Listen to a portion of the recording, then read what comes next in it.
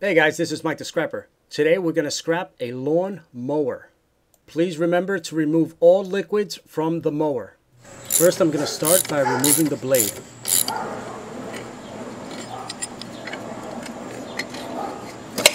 Now I'm going to remove the motor.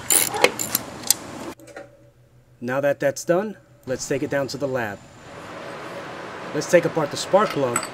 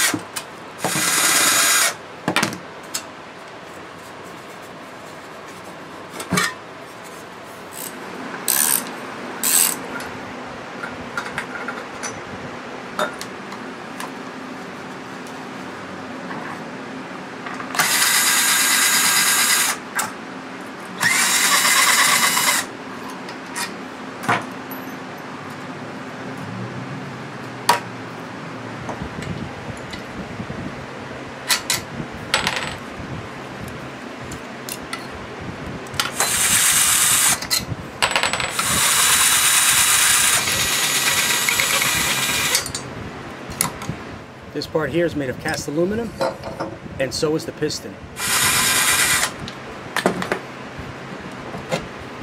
This here is also cast aluminum.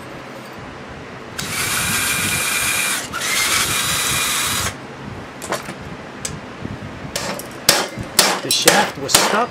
I couldn't remove it. Only way to do it was to hit it with a hammer. Now I'm removing the piston from the shaft. Again, it wouldn't remove, so I had to hit it with a hammer.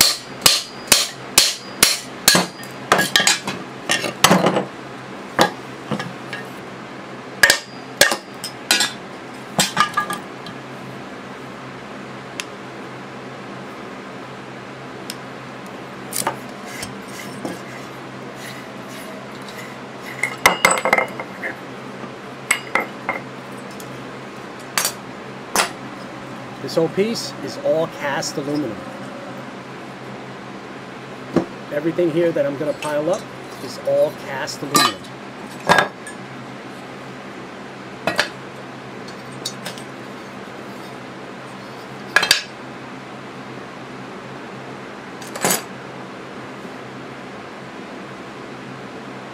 There are two pieces to this, and they're both also cast aluminum.